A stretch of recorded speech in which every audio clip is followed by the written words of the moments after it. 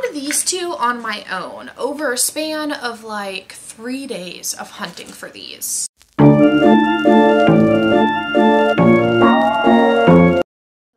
and welcome to another Freckles and Pumpkins video. If you are new here, I would super duper appreciate if you subscribe and like on your way out. It helps me tremendously and I would love to have you back. Um, for today's video, we're going to be talking about my favorite spooky items that I own. I'm talking Halloween decor, everyday house decor, and just my favorite spooky things that I have. Um, I'm going to give you a little bit of backstory on them, tell you where I got them, and just that sort of thing. So let's just get right into it. I'm gonna start with the big one. Um, everybody has seen this if you're part of the spooky community. This is the Cracker Barrel Resin Ghost. Um, so the year that it was like a big hot ticket item, I couldn't find him.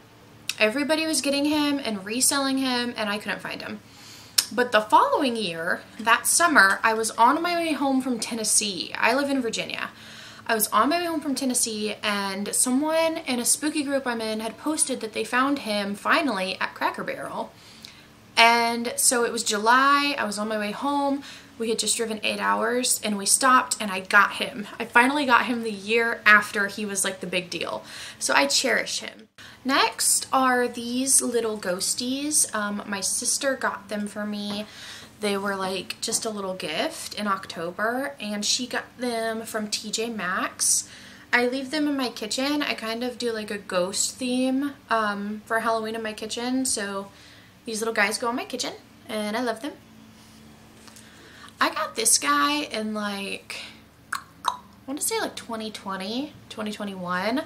Um, I simply call him Skullboy for obvious reasons. Uh, he is one of my favorites. He has cat hair on him. but he is one of my favorites. I get him out every year and put him on my entryway table, on my living room shelves. I just, I, I adore him. I think he is so cute. I got him at Target. Next are these little pumpkins. I got them at At Home. The store is called At Home. If you don't have one, I'm not saying like I got them at home. I got them at At Home. Um, I have Spook On Witches and Ghostly Greetings. I just, I think they're so cute. And I got them for $3.99 a piece. Um, I just love them. Also, I'm sorry if you hear like background noise. I have my windows and my door open because it's super nice out today. Um, but yeah, these little pumpkins are adorable. Next are the Halloween McDonald's buckets from last year. I, there's stuff in them because I keep stuff in them, but I found these two on my own over a span of like three days of hunting for these. No, I found these two on my own. No. I found these two on my own. I had to get that straight. This one I could not find. It was it was impossible to find. So my friend Ari, Ari if you're watching, hello, she mailed this to me and I mailed her the witch because I got the witch like three times. I just kept getting it.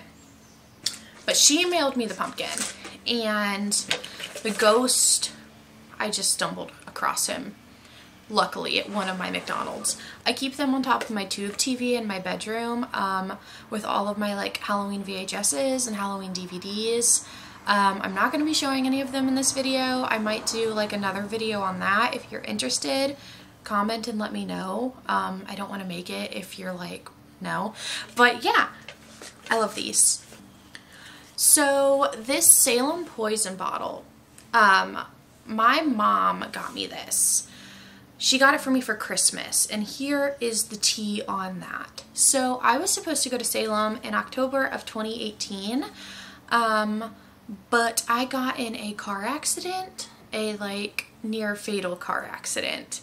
Um, I was on life support and all of the things, and um, I didn't get to go to Salem, needless to say. Um, so when I got out of the hospital, this happened at the beginning of October. It was like October 8th, I think the accident was. So when I got out of the hospital, I canceled my trip and I was super bummed. We had been saving for months. It was just me and Nick at that point. We didn't have the babies yet. Um, and like it was a lot of saving because Nick was working at Goodwill. I was working three days a week at a medical center. Um, it was a lot of saving and we had to cancel and I was devastated. So my mom that Christmas bought me all spooky Halloween gifts. I looked up there because I have more up there. But she bought me all spooky Halloween gifts. And this one just means a lot because I was supposed to go to Salem. And yeah, so that's the story with this. Why I will cherish it and love it forever because it was just so great that my mom did that for me. Um, it meant a lot because the crash just just ruined so many things. Um, so many things. But yeah. Next is this little Dani Dennison Funko Pop. Um, I got her from Spirit Halloween last year. She's holding Binks and I keep her on my dresser by my Xbox. My Xbox, I have Hocus Pocus stickers all over it, so she just fits there. Um, and every time I go to play, she's just so cute. She makes me happy. I love it. Um, I wish I would have gotten Billy Butcherson and like the Sanderson sisters trio that they had, but I didn't. Maybe this year. Um, but I love her in the meantime. She is my favorite. The last thing I'm going to show you is just this little pumpkin tea light holder. I got it from Dollar Tree. Um, I think it is so cute. I love putting it like on the edge of my bath when I take baths in October with a little tea light in it. I just, I have a little ghost tea light holder too. I would show you it, but I'm not positive where it is. I think it's in the hall closet, maybe. I don't know. But he's adorable and I love him. Let me see if I can find the ghost. I didn't find the ghost, but I'm not going to let this video end without showing the witch hand candle holder because this is another item that I didn't get the year that like everybody got it. This is another item that I got a year later and I think that's just going to be the trend with me in these trends because I just, I can't find them the years that everyone wants them. Um, I guess I have a really big spooky community here around me and they don't have kids. So they, they go find the things very quickly. Um, but I got this a year after and I it stays out on my entryway table year round because I worked too hard to find this thing to pack it away. So she holds my candles. I also have the soap holder in my kitchen um, that holds the soap. And then I have the witch hand PocketBac holder on my purse that holds my sanitizer. So I kind of feel like I have like the infinity stones of witch hands and I love them. So that is my spooky items video for you. Um, if you liked it, please like this video. Um, please comment and let me know what you want to see next. I am so open to all of your ideas and I would love to make something that you will enjoy. So just let me know and thank you so much for watching.